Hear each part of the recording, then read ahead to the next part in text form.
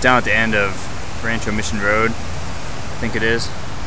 I'm in the 24 hour fitness parking lot. River's totally flooded out.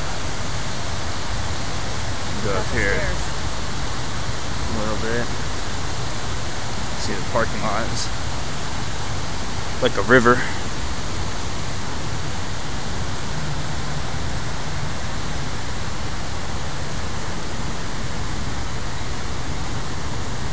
Got the road closed.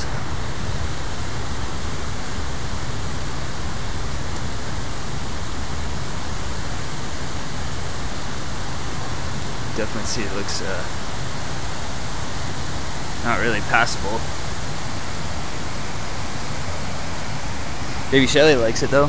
Say hi, Baby Shelly.